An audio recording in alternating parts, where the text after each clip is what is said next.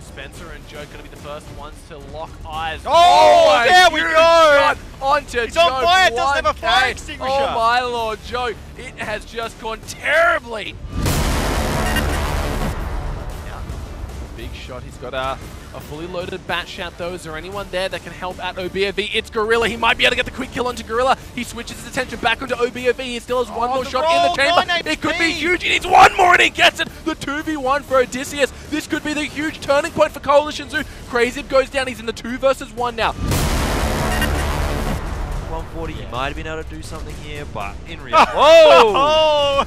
Oh! okay. That's two games in a row He got there. the kill as well. Pathfinder got the kill. I'm pretty sure. I'm pretty sure Pathfinder just got that last kill. Maybe a little bit less than survive, but he's not going to get the spotting out. He's not going to get the information like he said. He's relaying it back to the Oh. troops. Oh, we're seeing a little bit of a sumo fight here. Polly, what are you doing, mate? You just keep until I till until. I You're going actually- anywhere. I think what he was trying to do there is just knock the STRB up so that Yeah, he he couldn't could get move. shots onto more